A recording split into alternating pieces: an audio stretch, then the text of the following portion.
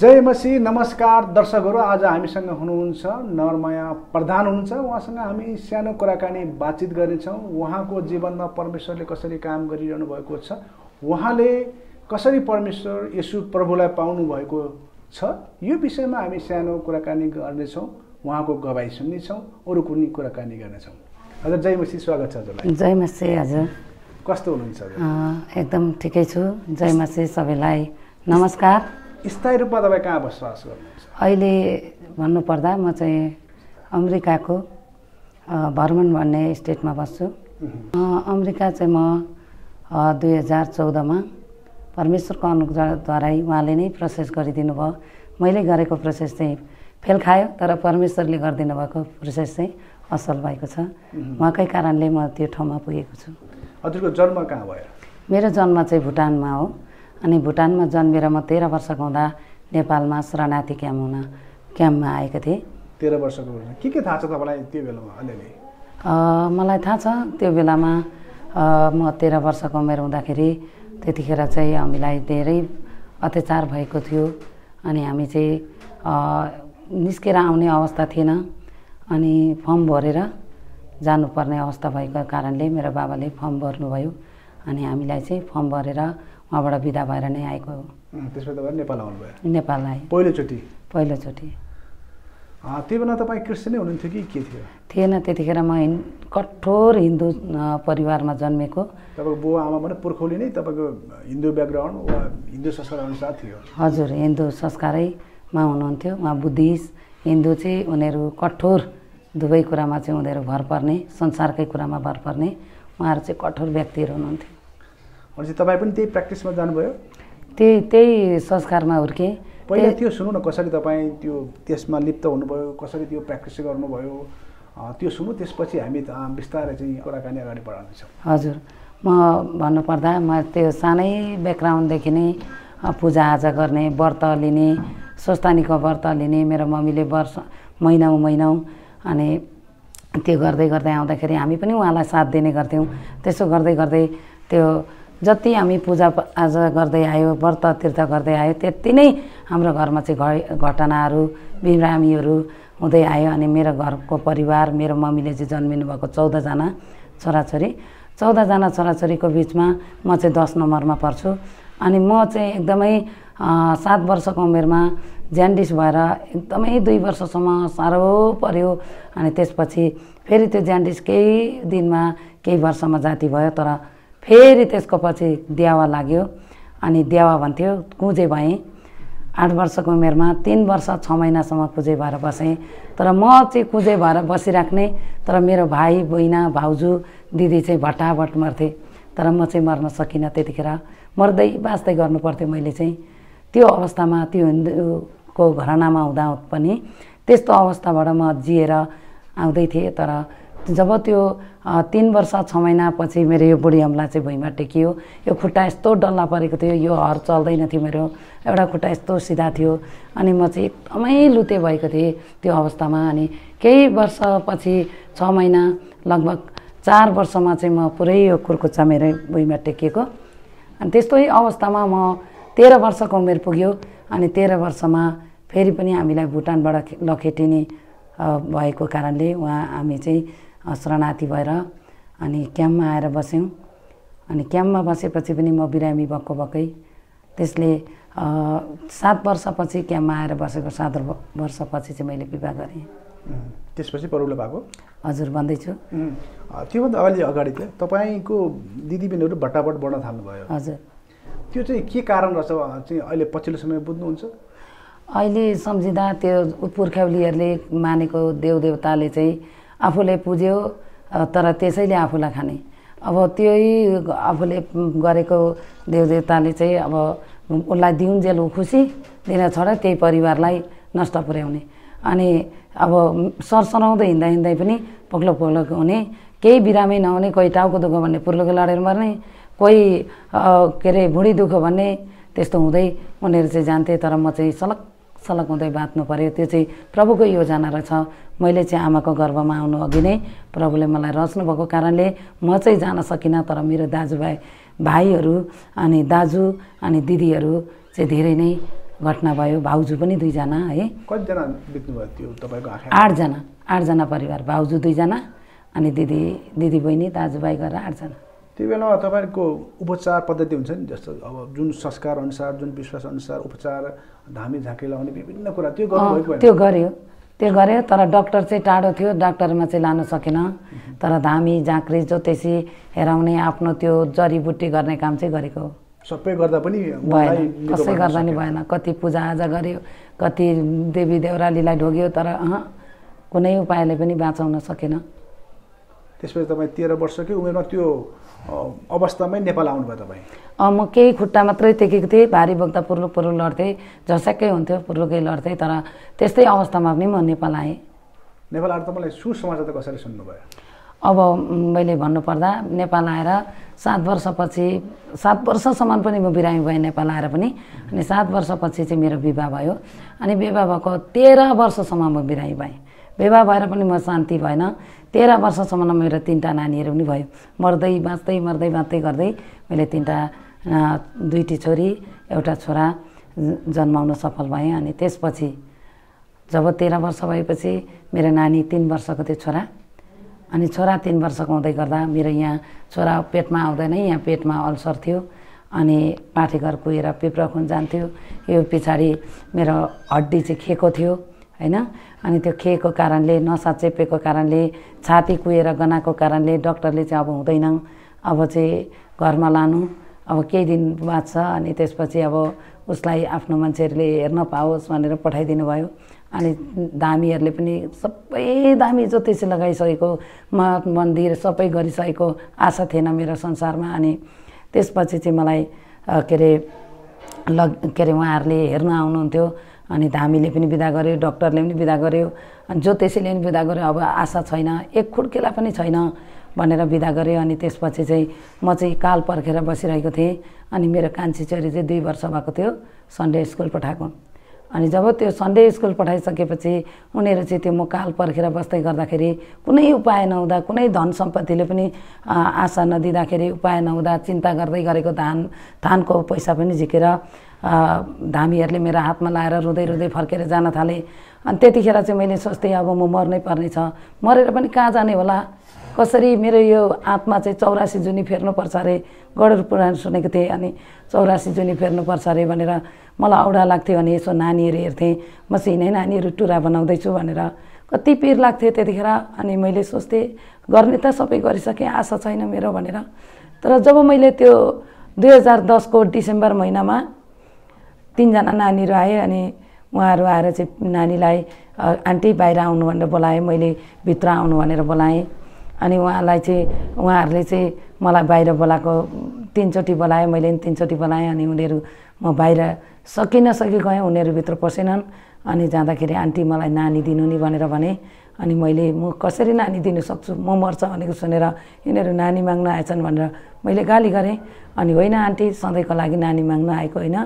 तर यो नानी चाहिँ सन्डे स्कुल गएको कारणले नानीलाई हामी पिकनिक लानलाई पिठो नानीहरू कति छ भनेर नाम लेख्न आएको भने अनि त्यसपछि मैले अघि त्यसो भन्नु पर्थ्यो नि त भनेर भने अनि त्यसपछि के दिनु भनेको केही पर्दैन भने अनि त्यसपछि म के गरौँ त मेरो नानी त एकदमै उत्ताउलो छ तिमीहरूले थाम्न सक्दैनौ भन्दाखेरि उनीहरूले हामीले हेर्छौँ थाम्न सक्छौँ भने अनि त्यसपछि उनीहरू गइगएको थिए। तर प्रभुको अनुग्रह म माथि अनि त्यो नानी माथि पर्यो। मैले सुसमाचार चाहिँ त्यसरी सुने।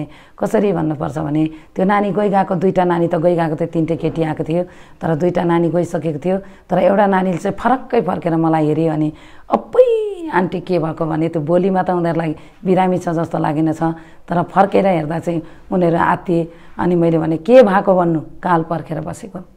जस्तो थियो त्यस्तै बताएँ मैले अनि त्यसरी बताउँदै गर्दा उनीहरूले एउटै शब्द बोल्यो आन्टी प्रभुलाई विश्वास गर्ने नि जाति हुन्छ। यति नै मैले सुसमाचार सुनेको। अनि मैले उनीहरू त गइहाले त्यति भनिराखेर अनि मैले भने म विश्वास त गर्छु नि कसरी गर्नु? म न त कोही मान्छे चिन्छु न त हिँड्नु सक्छु कसरी गर्नु? भन्दाखेरि अङ्कल भने मेरो श्रीमान त्यतिखेर सुध्रिनु भएको थिएन। अनि उहाँले त अब खानु त्यो सेतो घोडामा चढेर कुद्ने मान्छे कसरी उहाँले मलाई विश्वास गर्नुहुन्छ भनेर मैले विश्वास गर्नु? अनि उहाँ त म जान्दिनँ तर म विश्वास गर्छु भन्दा नानीहरू पुत्त निस्केर गइहालेँ। केही पनि भनेनन्। कसै विश्वासी बोलाइन्छु नि भनेनन् केही पनि भनेनन्। तर यति भने उनीहरूले आन्टी प्रभुलाई विश्वास गर्ने जाति हुन्छ। यति नै हो उनीहरूले भनेको। तर जब म भित्र पसेँ नि झुसुलेलाई के अरे आगोमा हाल्दा जसरी पिर्सलिन्छ त्यसरी नै म पिर्सल्ने अझै एउटा मौका त रहेछ नि अझै एउटा आशा त रहेछ नि म मरेँ भने नि बाँचेँ भने प्रभुलाई विश्वास गर्छु। मैले यही निर्णय गरेँ। कोही पनि मेरो घरपट्टि माइतपट्टि मेरो छर छिमेकीको कोही विश्वासै थिएन त्यतिखेर। जब मैले त्यो निर्णय गरेँ अनि मेरो श्रीमान बेलुका आउनुभयो कसलाई सुनाउने? म हिँड्नु सक्दैन थिएँ अनि मेरो श्रीमानलाई नै मैले भनेँ बाबा म मरेँ भने पनि बाँचेँ भने म प्रभुलाई विश्वास गर्छु भन्दा।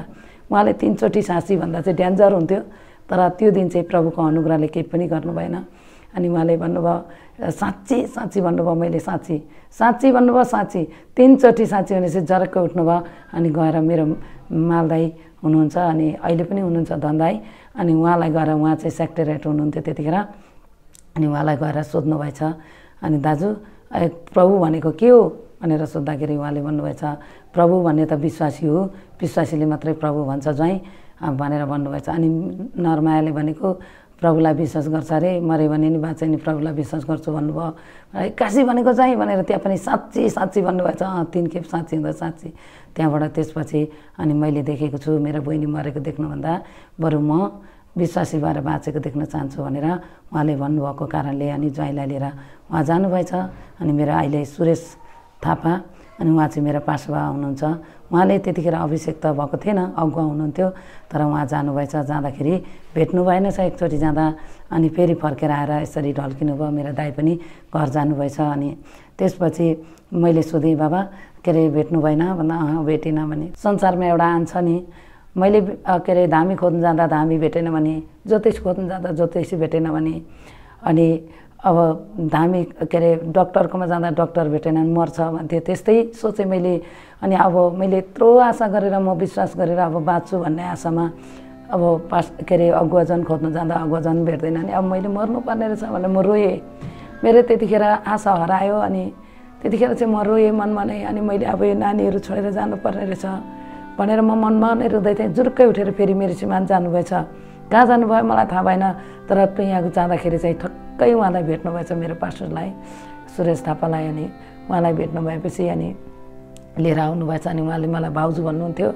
अनि सरसर लिएर आएपछि भाउजू मलाई किन बोलाउनु भयो भन्नुभयो अनि मैले पास्टर बाबा म मऱ्यो भने नि बाँचेँ भने म प्रभुलाई विश्वास गर्छु भनेर मैले त्यही शब्द भन्दाखेरि उहाँले भन्नुभयो हेर्दा त म बाँच्छ जस्तो थिएन अनि उहाँले भन्नुभयो भाउजू साह्रै राम्रो निर्णय गर्नुभयो। यदि तपाईँ मर्नुभयो भने नि आत्मा बाँच्छ। यदि होइन भने तपाईँको शरीर पनि बाँच्छ आत्मा पनि बाँच्छ भनेर उहाँले भन्नुभयो अनि उहाँले भन्नुभयो भाउजू उठ्नु सक्नुहुन्छ सक्दिनँ। अनि उहाँले मलाई त्यसपछि तपाईँ बोल्नु सक्नुहुन्छ सक्छु। अनि जे भन्छु म त्यही भन्नुहोस् भन्नुभयो। त्यसपछि प्रार्थना गरिदिनु भयो अनि दुइटा एमटी गोली खाँदा म सुत्न सक्दैन थिएँ। तर त्यति प्रार्थना गरेर उहाँ जानुभएपछि म सुत्न सकेँ। बिहान छ बजीसम्म म सुत्न सकेँ अनि उहाँहरू फेरि बिहान आउनुभयो अनि मलाई सोध्नुभयो भाउजू के भयो? अनि म के भयो? कसो म म जान्दिनँ तर मैले दुइटा एमटी खाँदा सुत्दैन थिएँ। म मजाले सुतेँ भनेको आमेन हाले लुया भन्नुभयो। मलाई त्यतिखेर त के थाहा होइन तर पनि प्रभुले काम गर्न थाल्नु भएको थियो। आमेन। कति मजाको कुरा। उहाँले स्टेप बाई स्टेप त्यहाँबाट काम गर्दै जान थाल्नुभयो मेरो जीवन तपाईँले जब त्यो प्रकारको अब ग्रहण पुण्य गरेपछि त्यो सपनामा केही देख्नुभयो कि? सपनामा केही देखिनँ मलाई एकदमै सन्चो भयो। आनन्दले सुतेँ छ महिना सुतेको थिइनँ अनि ठक्कै उहाँले प्रार्थना गर्दै चाहिँ मजाले सुतेँ अनि मैले केही पनि देखिनँ तर मलाई हल्का चाहिँ भयो। मैले सुत्न सकेँ। नभए पोलेर दुखेर म सुत्न सक्दैन थिएँ त्यो दिन चाहिँ सुत्न सकेँ। लामो समयसम्म सुत्न सके सुत्न सक्यो त्यसपछि तपाईँलाई के भयो त्यसपछि? तपाईँले मनमा चाहिँ आनन्द आयो वा के के प्रकारको तपाईँले महसुस गर्नुभयो? शान्ति फिल गरेँ। उहाँमा चाहिँ छुटकारा हुने छ हुन्छ भन्ने मैले फिल गरेँ। अनि त्यसपछि मऱ्यो भने नि बाँच्यो भने उहाँमा बाँच्छु भन्ने मैले निर्णय गरेँ। अनि कर्मिक रूपमा तपाईँको त्यो रोगहरू निको हुने भयो कि? त्यसपछि एक रातमा मैले त्यो निन्द्रा लाग्यो। अर्को दिनमा बिहान प्रार्थना गरेर गएपछि मेरो शरीर भारी थियो हल्का भयो। अनि उहाँहरूले के भयो भनेर सोधेँ म के भयो कसो भयो जान्दिनँ तर यहाँको दस मनको भारी चाहिँ साइडमा बिसाए जस्तै भयो भनेर भने। अनि उहाँहरूले आमेन आमेन भने दिन प्रतिदिन मेरो चाहिँ स्टेप घट्दै जान थाल्यो बिरामीहरूको।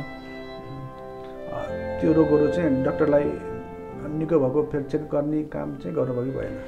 त्यसपछि उहाँहरूले तिन दिन बदलामा तिन दिनसम्म प्रार्थना गरेपछि रोगी बिरामीलाई ल्याएर गवाईहरू सुनाउनु भयो। उहाँहरूको गवाईले मलाई दबाई बनाऊ होइन? त्यो उहाँहरू जाति हुन्छ भने म पनि पक्का जाति हुन्छु। मलाई झन् विश्वास बढ्दै जान थाल्यो होइन? अनि त्यसपछि चाहिँ उहाँहरूले तिन दिनको बादमा चाहिँ प्रा प्रार्थना बदलाउनु भयो। प्रार्थना कसरी बदलाउनु भयो भने यो छोरीको पेटमा घाउ छ प्रभु। यो छोरीलाई डक्टरले फेरि पनि रेफर दिनुपर्छ। यो छोरीको डक्टरले ट्रिटमेन्ट गर्नुपर्छ। तपाईँ त डक्टरको पनि डक्टर हुनुहुन्छ वैद्यहरूको पनि वैद्य हुनुहुन्छ तपाईँ त मालिकहरूको पनि मालिक हुनुहुन्छ प्रभु। यो छोरीलाई सहायता गर भनेर उनीहरूले प्रार्थना गर्न थाले। मलाई आज पनि थाहा छ त्यो प्रार्थना। तर मैले नजाने पनि याद चाहिँ गरिरहेको छु अनि त्यसले गर्दाखेरि उहाँहरूले त्यसरी तिन दिन प्रार्थना गरे पछाडि मलाई हस्पिटल लानुभयो। तुरुन्तै रेफर दिए मलाई। आमेन। कति मजाको कुरा होइन? तिन दिन प्रार्थना गरे पछाडि छ दिनको बादमा चाहिँ मलाई हस्पिटल लानुभयो। अनि हस्पिटल लगेर त्यही गाइनोवाटमा लगेँ भद्रपुर पहिला जाँदाखेरि भुटेको मकै खाए जस्तो नहुने औषधि। तर पाँच दिनको पछाडि त्यहाँ गएर पाँच दिन चेक गरेँ मलाई। धरानको डक्टर भेटायो अनि मेरो पाठेघर कुहेर पेप्रा खुन गइरहेको थियो। अनि मैले भने पाठेघर फ्याँकिदेऊ। म केही दिन बाँच्नुपर्छ मेरो नानीहरूलाई मागी खाने बनाउनुपर्छ भनेर भने मैले अनि उनीहरूले पाठेघर फ्याँकिदिने भनेर रेडी गरेको थियो। अनि पाँच दिनसम्म रिपोर्ट तयार गर्दाखेरि ठिक टाइम दुई घन्टा थियो अपरेसन गर्नुपर्ने। अनि मैले त्यतिखेर मेरो चाहिँ मर्दै त्यो अपरेसन कोठाबाट मानिस निकाल्दा उहाँ चाहिँ त्यहाँ गएर हेर्न थाल्नुभयो श्रीमती मऱ्यो भने पनि म खोज्दिनँ। कालगतीले मऱ्यो भनेर उहाँले साइन गर्नुभएको थियो अनि उहाँ त पढ्नुहुन्न थियो तर मैले पढेर उहाँलाई सुनाउँदा उहाँले गएर त्यहाँ हेर्नुभयो। अब मेरो श्रीमती दुई घन्टापछि यहाँ ल्याउँछ मर्छ कि बाँच्छ थाहा छैन भनेर। उहाँ चाहिँ दुई दिन अगाडिदेखि नै गएर त्यहाँ हेर्न थाल्नुभएको रहेछ। अनि त्यो जब मैले दुई घन्टा मात्रै थियो बाँकी मलाई अपरेसन गर्न लान। अनि मैले चाहिँ के भनेर मैले प्रभुलाई पुकारेको छु भने हामीले भित्रबाट भनेको कुरा चाहिँ प्रभुले सुन्नुहुन्छ हाम्रो प्रभुको कान छ हाम्रो प्रभुले देख्नुहुन्छ हाम्रो प्रभुले छुन सक्नुहुन्छ। अनि मलाई यति विश्वास छ उहाँले यसरी मैले केही पनि जान्दैन थिएँ अनि मैले दुई घन्टा थियो टाइम अनि मैले यसरी उँभो हेरेर अहिले याद छ मलाई यसरी उँभो हेरेर प्रभु म त मऱ्यो भने केही छैन म त तपाईँको चरणमा आउँछु। तर मेरो नानीहरू ती तिनजना छ छोरा छ छोरी छ अनि मेरो श्रीमानले पनि केही जान्नुहुन्न। यिनीहरूलाई दुःख नपाउन् भनेर रोएछु म त। अनि रुँदै रुँदै त्यसरी भन्दाखेरि मलाई आमेन गरेँ कि गरिनँ मलाई थाहा छैन। तर आवाज आयो नरमाया प्रधान भनेको को? भन्दै। अनि म यस्तै दैलामा सुताएको थिएँ अनि म डक्टर भने त्यसपछि उहाँले भन्नुभयो खै फाइल भनेर सोध्नुभयो अनि गोडामणि थियो। अनि मैले गोडामणि छ डक्टर भनेर भने अनि उहाँले त्यो गोडामणि त्यो फाइल निकालेर पट्टापट्ट हेर्नुभयो अनि उहाँले सोध्नुभयो मलाई कसले भन्यो अपरेसन गर्नु भनेर भन्नुभयो? अनि मैले भने किन? भन्नुभयो। अनि म केही दिन बाँच्नुपर्छ मेरो छोराछोरी सानो सानो छ। मैले मागी खाने बनाउनुपर्छ सबैले मर्छ भन्छन्। म बाँच्नुपर्छ डक्टर भने। अनि उहाँले म तिस वर्ष पुगेको थिइनँ। अनि उहाँले भन्नुभयो नेपालको नियममा हो भने पैँतिस वर्षमा विवाह गर्छ। तिमीले कसरी म पाठेघर फ्याँक्न सक्छु भनेर? तिमीलाई त्यो छोराछोरीले ग्यारेन्टी दिन सक्छ? तिमीलाई पाल्छ भनेर भन्नुभयो। मैले के पनि भन्न सकिनँ। अनि फेरि मेरो श्रीमानलाई तपाईँको श्रीमानले के तिमीलाई पाठेघर फ्याँकेपछि राम्रो गर्छ भने ग्यारेन्टी छ भन्नुभयो? त्यो पनि मैले केही भन्न सकिनँ। अनि हेरिपछि मैले केही पनि भनिनँ। अनि त्यसपछि उहाँले सोध्नुभयो तपाईँको परमेश्वर चाहिँ क्यान्सरको एन्सर दिने परमेश्वर हुनुहुन्छ। अनि उहाँले अघि नै मेरो त क्यान्सरको एन्सर आइसकेको रहेछ। प्रभुलाई धन्यवाद होस् अनि उहाँले भन्नुभयो तिम्रो घाउ मात्रै छ तिम्रो क्यान्सरको एन्सर आइसकेको छ। आमेन। कति मजाको कुरा होइन? अनि उहाँले भन्नुभयो अब चाहिँ तिमी के अरे तिम्रो घाउ मात्रै छ क्यान्सर तिमीले त्यो सर्जरी गर्नु पर्दैन। अब यो सर्जरी काटिदिन्छु। चट्टै सर्जरी काटिदिनु भयो पहिलाको डक्टर होइन उहाँ। तर उहाँ चाहिँ प्रभु ईश्वरले पठाउनु भएको डक्टर आउनुभएको थियो। अनि उहाँले चाहिँ आफ्नो बाउले जस्तै गाली गर्नुभयो। गाली गरेको होइन उहाँले अर्थी गर्नुभयो। आजसम्म पनि त्यो पाठेघर फ्याँक्नु परेको छैन मेरो। आजसम्म पनि प्रभुले सहायता गर्नुभयो अनि मलाई पाठेघर फ्याँक्नु परेन। प्रभुले निको पार्नुभयो मलाई। सर्जरी गर्नु परेन। अनि हड्डी पनि यहीँ अमेरिका वहीँ अमेरिका पुगुन्जेल पनि मेरो हड्डी जाति भएको थिएन। तर परमेश्वरले मलाई निको पार्नुभयो निको पार्नु मात्रै भएन। उहाँले नियुक्त पनि गर्नुभयो परमेश्वरको राज्यमा। अनि धेरै छ यस्तो गवाईहरू त तर समय छोटो भएकोले मैले सर्कट सर्कटमा ल्याएँ। तपाईँलाई पहिला चाहिँ डक्टरले चाहिँ तपाईँ क्यान्सर त मर्नुहुन्छ भनेर पठाएको डक्टरले। अर्को फेरि डक्टरले तपाईँ चाहिँ बाँच्नुहुन्छ। तपाईँको केही पनि छैन। भनेर यो दुईवटा तुलनात्मक डक्टरको भर्सलाई डक्टरको भनाइले तपाईँको केही छ धारणा?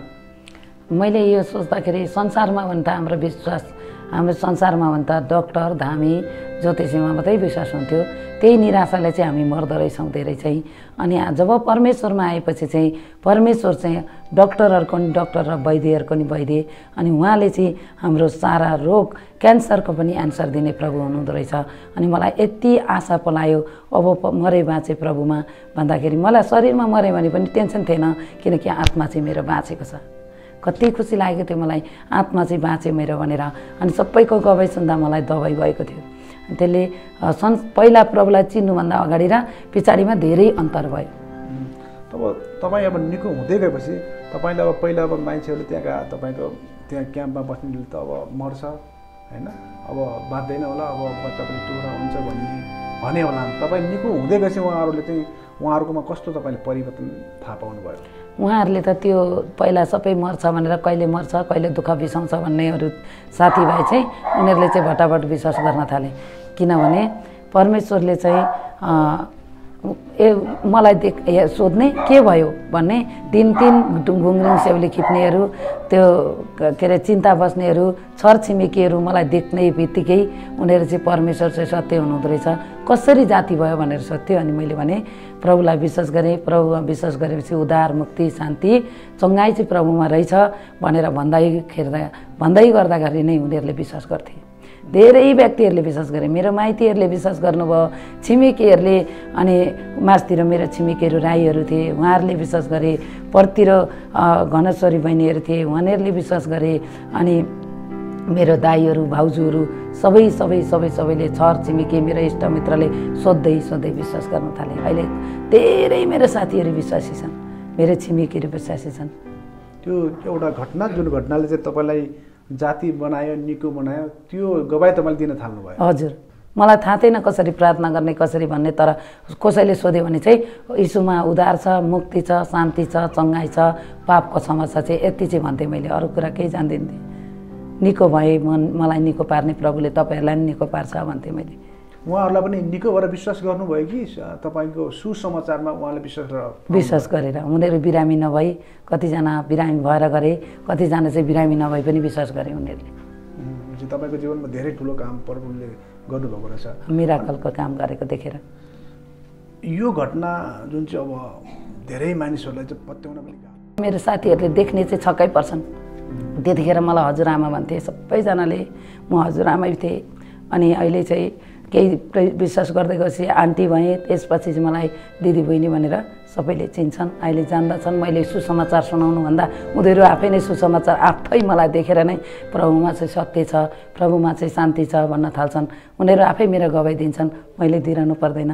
प्रभुलाई नचिन्नेहरूकोमा गयो भने घरभित्रै सेवा गर्दा उनीहरूले केही बोल्दैनन्। यो निको हुनुको लागि चाहिँ के गर्नुपर्नेछ तपाईँको यो क्यान्सर जस्तो रोग तपाईँले चाहिँ त्योसँग लडेर विश्वास आधारमा तपाईँले जित्नुभयो डक्टरले तपाईँलाई त्यो प्रकार भए के यस्ता अब भयङ्कर रोगहरू लाग्ने व्यक्तिहरू छन् होइन?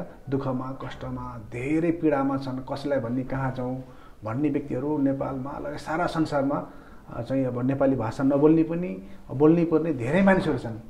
के कसरी चाहिँ सकिएला छ यो निको हुनको निम्ति? भजन सङ्ग्रह पचासको पन्ध्र पदले भन्छ सङ्कष्टमा मलाई पुकार र म तँलाई छुटाउने छु र तैँले मेरो महिमा गर्नेछस् भन्नुहुन्छ।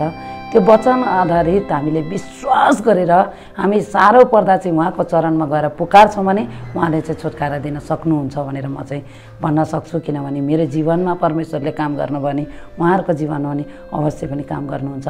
हाम्रो विश्वास चाहिँ अलिकति पनि ढलपल लिनु हुँदैन। मर्नै किन नपरोस्? हाम्रो यदि हामी शरीरमा मर्छौँ भने आत्मा त अनन्तसम्म जिउँछ नि त। हामीले त्यो विश्वास गरेर चाहिँ हामी डेट भरोसा गर्छौँ भने कुनै कुरा नि असम्भव छैन। अब धेरै यो मानिसहरू चाहिँ डक्टरहरूमा विश्वास गर्ने होइन? तपाईँ चाहिँ अब परमेश्वरमा विश्वास गरेर पूर्ण रूपमा तपाईँ निको भएको अहिले चाहिँ आफ्नो गवाई बाँड्दै नेपाल भारत लगायत तपाईँ धेरै ठाउँमा चाहिँ सेवा पनि गर्दै हुनुहुन्छ। तपाईँलाई चाहिँ त्यो बेलामा विश्वास गरेको आधारले चाहिँ सतावट भयो कि भएन? त्यस्तो खेतो निन्दा वा केही त्यस्तो भयो कि भएन? त्यो सतावट भन्नाले पहिला पहिला त भयो हल्का रूपमा भयो। तर त्यो म मर्दै गरेको देख्दै गर्दा चाहिँ कसैले पनि सताउन सकेन। अब यो चाहिँ संसारबाट विदा भइसकेको व्यक्ति हो। उसले विश्वास गरेर बाँच्छ भने जाओस् भन्ने खालको भयो मेरो आफ्नो आफन्तहरू पनि। छर छिमेकी मलाई देखेर अचम्मै परे। किनभने ऊ यस्तो मर्दै गरेको व्यक्ति चाहिँ यसरी प्रभुमा आएर यस्तो राम्रो हुन्छ भने प्रभु सत्य हुनुहुँदो रहेछ। उनीहरू आफै मेरो गवाई दिन थाले। बैतरनी गरेको व्यक्ति हो म। म पन्ध्र दिन बाँकी बसेको व्यक्ति हो। मैले स्वर्ग नर्क देखेको व्यक्ति हो। अनि त्यसो हुँदै गर्दा उनीहरूले चाहिँ मेरो जीवनमा प्रभुले काम गरेको देख्दा उनीहरूले एक शब्द पनि गर्न सकेनन्। पहिला पहिला गरेँ धेरै बाधाहरू आयो तर पनि मैले अलिकति पनि ढल पलाइनँ। आग लागि भयो छ महिना नभइकन। अब मलाई फापेन भनेर कहिले पनि मैले संसारतिर फर्किनँ। तर प्रभु तपाईँले दिनुभयो तपाईँले लानुभयो। अझै विश्वासमा म डरिल्याउन थालेँ। अझै जानी नजानी चर्चमा गएर घोडा टेकेर रुन थालेँ। त्यस्तो कारण त्यो भएको कारणले चाहिँ प्रभुले मलाई दिन प्रतिदिन स्टेप बाई स्टेप बढाउनु भएको। भनेपछि तपाईँको चाहिँ सबै कुरा रित्तिएको थियो। रित्तिएको थियो। म जिरोमा पुगेको थिएँ। ऋण थियो मलाई धेरै। त्योबाट कसरी तपाईँले उम्रिनु भयो कसरी त्योबाट छुटकारा पाउनुभयो र प्रशस्तको जीवनमा प्रवेश गर्नुभयो? मैले चाहिँ एउटै कुरा विश्वास गरेँ मलाई बचाउने रचाउने प्रभुले सबै कुरा गर्न सक्नुहुन्छ। म मेरो ऋण पनि मैले सम्झेन मलाई त्यो गरिबीपन पनि मैले सम्झेन म जिरो भएँ भन्ने पनि सम्झिनँ सबै कुरा चाहिँ मेरो यसु हुनुहुन्छ भनेर सम्झेँ। अब मैले विश्वास गरेँ मरेँ बाँचेँ उहाँ नै हुनुहुन्छ। मेरो प्रशस्तमा नि उहाँलाई नै पुकार्थेँ नहुँदा पनि हुँदा पनि दुःखमा पनि सुखमा पनि उहाँलाई नै धन्यवाद दिने काम गर्थेँ अनि मैले घोषणा गर्ने काम गर्थेँ। मेरो प्रभुजी धनी हुनुहुन्छ। म गरिब होइन। मलाई केही कुराको खाँचो छैन। अनि घोषणा गरेको गरेँ मेरो असी नब्बे हजार ऋण थियो। त्यो कसरी तिरे मलाई थाहा भएन। कहाँबाट आयो त्यो थाहा भएन। तर परमेश्वरले दिन प्रतिदिन दिन प्रतिदिन मलाई कहाँबाट कहाँबाट कहाँबाट जुटाउनु भयो अनि त्यो ऋण पनि तिरिसकेँ अनि मेरो अशान्तिलाई पनि शान्ति दिनुभयो। मेरो सबै कुरामा अलिअलि गर्दै प्रशस्त हुन थाले। मेरो श्रीमान पनि असल हुन थाल्नुभयो। नानीहरू पनि असल हुन थाल्नुभयो। अहिले चाहिँ मेरो श्रीमानले पास्टरी काम गर्नुहुन्छ। त्यो बेला त कल्पना गर्नुभएको थियो नि मेरो श्रीमान चाहिँ वा तपाईँ आफै पनि चाहिँ हामी सेवामा लाग्छु भने त्यो त तपाईँको थिएन। धेरै परको कुरो थियो। त्यो दुःख थियो नि त्यो। अब तपाईँको आफ्नो शारीरिक दुःख चाहिँ एक ठाउँमा थियो नै। अब क्याम्पमा बस्दा सजिलो थिएन। धेरै दुःख थियो त्यो। अहिले हामी पनि हेर्न सक्छौँ त्यो क्याम्पमा खै कतिजनाहरू बसिरहेका छन् दुःख साथ बसिरहेका छन्। त्यो दुःखको र अहिले तपाईँहरू अमेरिकामा पुग्नु भएको छ। यसलाई चाहिँ तपाईँले तुलना कसरी गर्नुहुन्छ? कसरी लिइरहनु भएको छ? मैले यसमा तुलना गर्नुपर्दा दुःख भोग्नेलाई सुख पनि हुन्छ। सुख भोग्नेले दुःख पनि भोग्नुपर्छ। किनभने सुख पायो भनेर नमात्तिनु दुःख पायो भनेर नआत्तिनु कोही पनि सबैलाई एक समान हेर्नुपर्छ हामी मानिस। मानवताको नाताले हामी एक त प्रभुको जन हो होइन? हामीले अर्कालाई दुख्दा आफैलाई दुखे झैँ सम्झिनुपर्छ। अर्कालाई दुःख पर्दा अर्कालाई घटी कमी हुँदा आफ्नोमा छ भने बाँडचुर गर्न सिक भनेर बाइबलले भन्छ। अनि हामीले बाँडचुर गर्न चाहिँ सिक्नुपर्छ। आज त्यो दुःखमा उनीहरू छन् भने हामी सुखमा भयौँ भने उनीहरूलाई पनि साथ दिनुपर्छ। उनीहरूलाई पनि हामीलाई जस्तै सुख मिलोस् भनेर प्रार्थना गर्नुपर्छ। हाम्रो परमेश्वरले प्रार्थना सुन्नुहुन्छ। सेवा कायमा कसरी प्रवेश गर्नुभयो तपाईँ? अब त्यो बाँच्दै जाँदा जाने क्रममा मैले एक महिनाको बाइबल ट्रेनिङ म आँखा पनि त्यति राम्रो देख्दिनँ थिएँ लेख्न पनि म सक्दिनँ थिएँ। मैले जानेको थिइनँ भन्दा क ख चाहिँ दुःख सुख मैले पढेको थिएँ क ख र अ चाहिँ चिन्दथेँ। अनि त्यसपछि मैले बाइबल पनि पढ्न सक्दिनँ थिएँ कहाँको गरेर पढ्थेँ। अनि मैले बाइबल पढ्नुपर्छ भन्ने कुराहरू मलाई थाहा थियो तर म आँखा देख्दैन थिएँ। अनि जब मेरो पासो भएको के अरे अभिषेकको भएको बेलामा वक्ता आउनुभएको थियो सुरेश थापाको अभिषेकको बेलामा। अनि उहाँ पासोबाले चाहिँ सबैजना रोगी बिरामी चाहिँ अगाडि आउनुहोस् भन्नुभयो। म त भर्खर विश्वास गरेको थिएँ। अनि त्यतिखेर हाम्रो भर्खर बत्तिसमा भएको थियो। दुई हजार दसको डिसेम्बर अन्तिमतिर एघार लाग्दा चाहिँ मेरो बत्तिसमा भएको। अन्तिममा चाहिँ मैले ग्रहण गरेको होइन? अनि एघारमा चाहिँ मैले बत्तिसमा लिएको अन्त उहाँले चाहिँ उहाँको उहाँले बोलाउनु भयो अनि मैले चाहिँ अगाडि गएँ अनि अगाडि गएर चाहिँ के भएको छ भन्नुभयो अनि मलाई केही मैले केही भनिनँ। ए के अरे के भएको छ भनेर सोध्नुभयो अनि मैले आँखा देख्दिनँ। मेरो आँखा देखोस् भनेर प्रार्थना गरिदिनुहोस्। म बाइबल पढ्न चाहन्छु भने मैले। अनि उहाँले यो छोरीको इच्छा पुरा गर्नुहोस् प्रभु। यो छोरीले बाइबल पढ्छु भनिरहेको छ यो छोरीको आँखा खोलिदिनुहोस्। यति नै भनेर प्रार्थना गर्नुभयो। छ्याप्पा हात राखेर तर मेरो आँखा त्यति बेरै त खुल्लिएन तर भोलिपल्ट चाहिँ सँगै खुलियो अनि मैले मसिनो अक्षर पनि बाइबल पढ्न सक्छु। पर हेर्नलाई चस्मा लाउनुपर्छ तर नजिक हेर्नलाई चस्मा लाउनु पर्दैन प्रभुले यति ठुलो काम गर्नुभएको छ मेरो जीवनमा। अनि जब म बाइबल ट्रेनिङ गएँ सञ्जीव शर्माकोमा अनि त्यहाँ एक महिनासम्म चाहिँ मलाई धेरै सतावट आयो दुष्टले तर पनि म टेरिनँ। अनि जब त्यहाँ गएपछि चाहिँ मैले एउटा अन्य भाषाको के अरे अन्य भाषालाई मैले उपलब्ध गर्न पाएँ। त्यहाँनिर अन्य भाषा चाहिँ मैले एक शब्द पाएँ। अनि त्यहाँबाट त्यत्तिकैमा मैले बढाउँदै बढाउँदै जान थालेँ। अनि जब म त्यहाँबाट फर्केर आएँ अनि पास्टरबाहरूले चाहिँ मेरो जीवनमा प्रभुको काम देखेर उहाँहरूले इभन्जलीमा अभिषेक गरिदिनु भयो।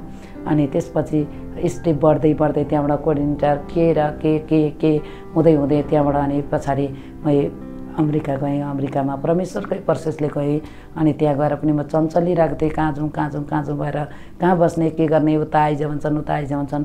अनि मैले प्रभुलाई सोधिरहेको थिएँ अनि प्रभुले भन्नुभयो छोरी तिम्रो खुसीले गयो भने तिमी विनाशमा पर्छौ।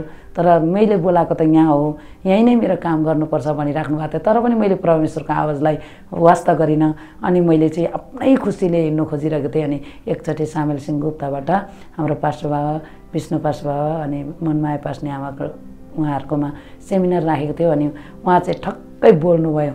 उहाँद्वारा बोल्नुभयो यहाँ अभिषेक गरेको छ महिना मात्रै भएको छ ती दुई दम्पति अनि यहाँनिर त्यो छोरीको मनमा चाहिँ यति चञ्चल भएको छ कहाँ जाउँ र के गरौँ कसो गरौँ भएर।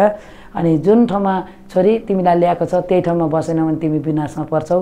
परमेश्वरले ल्याएको तिमी आफै आएको हो भनेर सोध्नु म त अब त्यत्रो मान्छेको बिचमा म त के गर्नु गर्नु म त गुवा गुवा रोएँ प्रभुसँग अनि प्रभुलाई कान समातेर मैले सरी मागेँ प्रभु तपाईँको इच्छा पुरा गर्नुहोस् तपाईँले बोलावट जे छ त्यो पुरा गर्नुहोस् अब मेरो खुसीमा म हिँड्दिनँ भनेर मैले प्रभुसँग सरी मागेँ अनि त्यसको पछि मलाई दर्शन दिन थाल्नुभयो अनि मैले पास्टर बाबासँग सेयरिङ गर्न थालेँ। मलाई यस्तो यस्तो भयो भनेर। अनि उहाँहरूले पनि मलाई जहाँ जाँदा पनि लानुहुन्थ्यो यति माया गर्नुहुन्थ्यो मलाई यति माया गर्नुहुन्थ्यो पासुबा पास्ने आमाले पनि। तर पनि मलाई उहाँले त्यो दिएको दर्शन बताउँदाखेरि अब कति अप्ठ्यारो लाग्थ्यो यति धेरै माया गर्ने पास्टर पास्ने आमालाई। मैले म परमेश्वरले यसो भन्दैछ भन्नु पनि डर लाग्थ्यो। अनि मैले चालिस दिन फास्टिङ बसेर अनि परमेश्वरको अगुवाई अनुसार उहाँहरूलाई बोलाएर मैले भने पासुबा पास्ने आमा यस्तो यस्तो भनिराख्नु भएको छ प्रब्लम म के गरौँ भनेर भन्दा पासमा आमा बाबाले भन्नुभयो तिम्रो बोलावट पुरा गर्नुपर्छ। प्रभुले तिमीलाई बोलाएको छ तिमीले प्रभुको काम गर्नुपर्छ। गर छोरी भनेर उहाँहरूले आशीर्वाद दिनुभयो प्रार्थना गरिदिनु भयो म पनि उहाँहरूको टिममा थिएँ मण्डलीमा।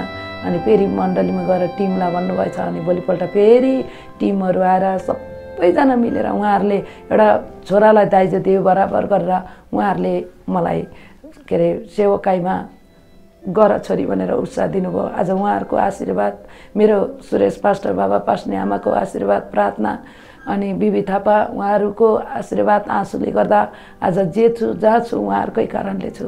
अनि हाम्रो फ्यामिली मण्डली मेरो परिवार न्यु नमुना मण्डलीको आशीर्वाद उहाँहरूको प्रार्थना उहाँहरूको सहयोगले जहाँ जहाँ लानुभएको छ। आज परमेश्वरको अनुग्रहले गर्दा उहाँहरूको आशीर्वाद प्रार्थनाले गर्दा असल भइरहेको छ।